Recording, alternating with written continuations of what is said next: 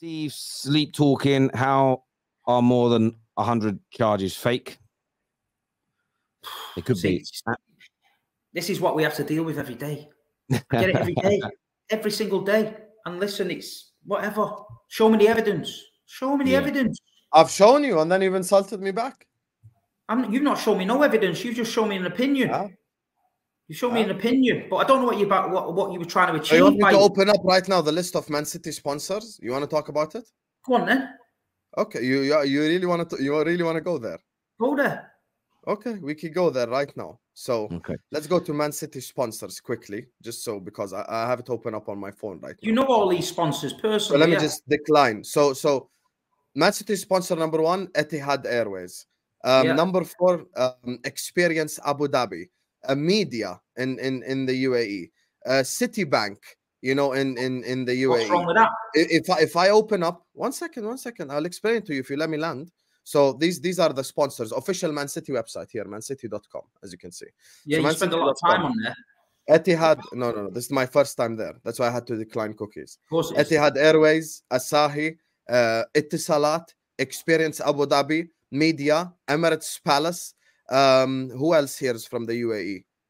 There's probably a, couple of more down there, probably from the UAE. I don't even know about. So, you know, all, all, all of these companies right here are all companies from the same exact government that owns Manchester City. So it makes no sense. It's like me sponsoring Hussam Football Club with Hussam Telecommunications.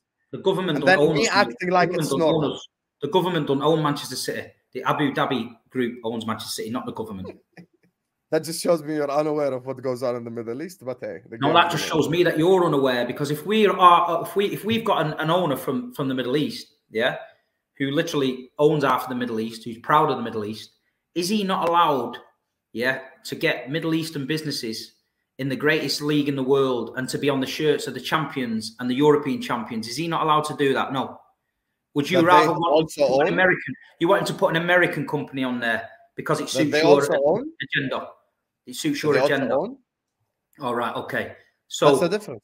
if if you own a, a football club and your Yes. brother owns an airline and Yes. your football club is winning the Premier League and your brother says, "For Sam, I want to give you 60 million from my airline to go on the shirts because I want my airline. Come on, you're my brother. Put us on the shirts, mate. You're going to say no because there's a guy on a podcast called Terry Talk who says that it's cheating because we're not allowed to do that because we're both Arabs and we we know each other. Is that what you're saying? That's not my point. If the source of the I'm money saying. is my so you're talking about me and my brother. If the source of the money is my dad, then by definition it's fall. It's it's it's corruption. but all by Middle. Eastern uh, families are like that. You know that yourself. Okay, so you've just proven my point then. So the I've source of the money is the, the source of the money is big guy. What is wrong with that? people What is so wrong with that? the money okay let me explain it the source of the money is the big guy and then there's people below him who all own multiple different things so this guy sponsors city and the other guy sponsors city and the Etisalat guy sponsors city and the visit abu dhabi guy sponsors city even though it's the same thing city group abu dhabi so it's the same source of money sponsoring on, the same hold club. on. Is that illegal? that's not the point that's not the Hold point. on a minute. Hold on a minute. What's your point then? We we're already saying it's based on corruption it's based on it's, How it's is it corruption if it's not illegal? My God, you can never prove that the source of the money is the oh same. Oh my in the God! See, there you go. it's all Absolute there is no such thing again. as private company. Again. There is yeah, no yeah, such thing. Yeah, as, yeah, yeah, yeah, yeah, yeah, yeah. Makes no sense. are you Nonsense. gonna call me a clown again because you're upset? boys, boys, we are gonna we're gonna There's we're no gonna such rest thing as a super chats. private company in We're the gonna- Gulf. Nonsense, It's boys. all public, all owned by the government. But guys, we're gonna move, we're gonna we're gonna go through some more of these super chats here, uh, and then and then go on to another, another uh, co- uh, conversation. This is a Van Persie red card versus Barca Champions League fight. It wasn't the final, but was rigged. I mean, that that was one of the craziest ones. Liverpool sponsors found guilty of terrorism. Well, that's again you're, you're twisting the truth here. It's a, it's a, a big bank, Standard Chartered, who have been accused of violating an anti-terrorism law, and banks are banks fall foul to that a lot. That- That's not a direct issue with Liverpool. Um, so I, again, that's you know, it, it's it's uh, a much deeper issue than that. Because by that, Matt, I know that Barclays have done that in the past, and they sponsored the whole league. So by that definition, every club is guilty of it. You own It- Barclays. Barclays, uh, the Abu Dhabi have got used to. I don't know if they've still got a lot of shares. They but uh, Abu Dhabi and the saved Barclays. Yeah, Sheikh Mansour was the guy that invested in the shares, before, so they stopped Barclays from becoming nationalised. Absolutely, uh, which is one of the reasons why. Which is which is Steve, which is the reason why for years when people said they shouldn't be in sport in the in Europe, I was an employee of Barclays, so I couldn't sit there and condemn. I don't do the hypocrisy. I can't sit there and condemn money from the Middle East taking over Man City but then work for a company that got saved by the same country. So yeah, no, I agree with you. Uh, I'm not condemning to... it either. I'm just no, no. I, I, hear that, boys. Let's, just try and get through these super chats here. Big up, Stephen, uh, Terry, and Hassam. City going. City ain't going anywhere. Rivals keep crying. Uh, this here says, uh, "What you man gonna say if City are found not guilty, brother? I've already said many times. If you guys are not guilty, I'll condemn the allegations and continue to say what I've said all along. Fantastically run club, we're one of the greatest managers of all time, and I wish my club would run better.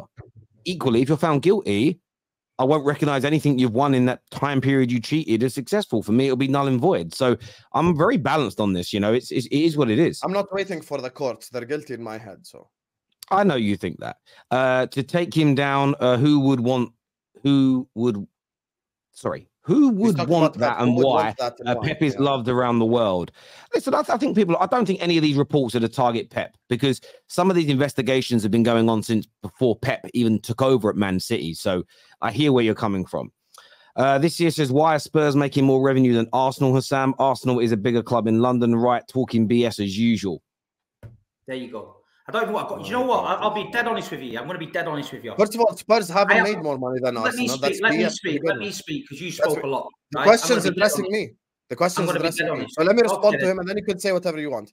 When it comes to Arsenal, they're they're making more money than Spurs. Anyway, so I don't know where the fuck you got that from. And second of all, if Spurs are making more money, Spurs are making more money because of all the other shit that they do, which is NFL, Beyonce, blah blah blah. Got nothing to do with someone injecting money into Spurs Football Club. Main difference. So you, this is the problem with many people. I always say like you know we have an arabic saying i always tell you it's a bull and you're like go get the milk. But bulls don't produce milk. You can't just relate two things to each other that are unrelated. Go ahead steve. Nice forget it. Wasting my time. Uh, this Waste. here says um in in the middle east things are state owned steve not private is what omar says here he's from egypt uh, big up Steve, Terry, and Hassam. I've got nothing against City, but the charges are reasonable. Hassam is right on UAE ownership. Abu Dhabi Group ran by the UAE government. Thank you. Uh, the man Barcelona paid, sorry, the man Barcelona paid received payments for ref reports from 18 different teams, including Real Madrid. Barca is investigated because they paid more. That's all. Well, it's not that's all. There's there, there's that's exactly it. They've paid more and they're being investigated along with multiple other charges. And I think that that's why it's significant in this. And I think as football fans, we all want to see this fair play. If they're innocent, fair play to them.